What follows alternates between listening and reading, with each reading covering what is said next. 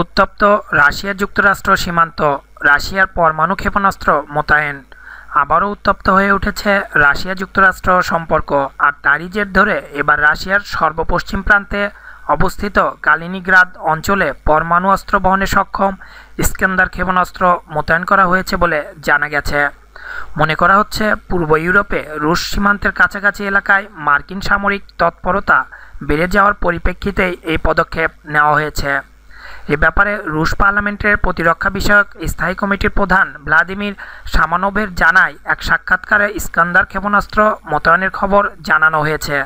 তবে ঠিক কতটি ক্ষেপণাস্ত্র কতদিনের জন্য মোতায়েন করা হয়েছে তা তিনি জানাননি। সামানব বলেন, ইস্কান্দার ক্ষেপণাস্ত্রের লক্ষ্যবস্তু হিসেবে বিদেশি সামরিক ঘাঁটিগুলো বাছাই করা হয়েছে। রাশিয়া এর আগেও একাধিকবার তার পশ্চিম সীমান্তে মার্কিন সেনা সমাবেশের জবাব দিতে কালিনিগ্রাদে ইস্কেন্দার ক্ষেপণাস্ত্র মোতায়েন করেছে।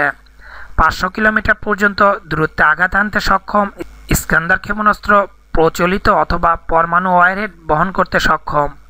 এদিকে লিথুয়ানিয়ার প্রেসিডেন্ট ডালিয়া গ্রিসকাই রাশিয়ার এই পদক্ষেপের বিরুদ্ধে প্রতিক্রিয়া জানিয়েছেন। তিনি দাবি করেছেন, রাশিয়া স্থায়ীভাবে ক্ষেপণাস্ত্র মোতায়েন করেছে। এর ফলে ইউরোপের প্রায় অর্ধেক দেশের রাজধানী শহরের নিরাপত্তা বিপন্ন হয়েছে।